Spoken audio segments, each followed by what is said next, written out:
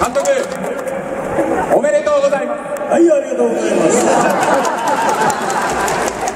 照れくさいですがもう一度言わせていただきます。川藤監督この伝統の一戦を制した今の率直な気持ち教えてください。まともなこと言うなお前は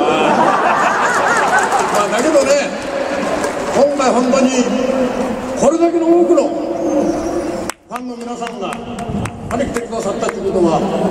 まだ野球界はしんどらへんで、ね、やっぱり野球というのはこれだけ多くの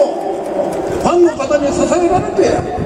初めてみんなが一生懸命ファンの皆さんにお返しできるんだという気持ちでやっております。だから皆さん本当にまだまだ野球は楽しいです川藤さんこのファンの皆さんの後押しがあって阪神も巨人も出場した全ての選手が本当に打って守って走って大活躍でした。いや本当そうです。本当にジャイアンツの王会長をはじめもうジャイアンツの選手の皆さんに本当にありがとうございました。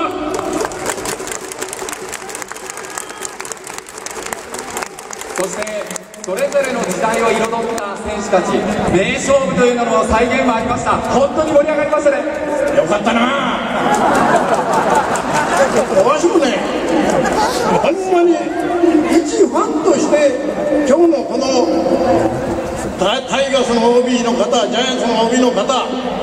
楽しませてもらいました。ね。おもろかったやろ？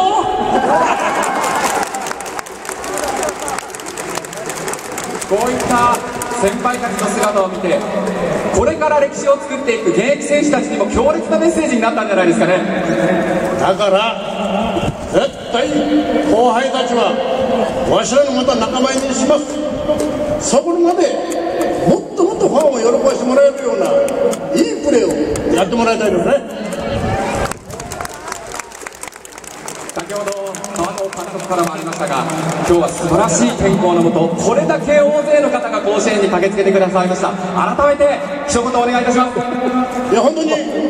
皆さんのお力で今日この一日を全うできました。本当これからもこの野球界のために皆さんのお力をぜひお貸しください。本当に今日はありがとうございました。勝利しました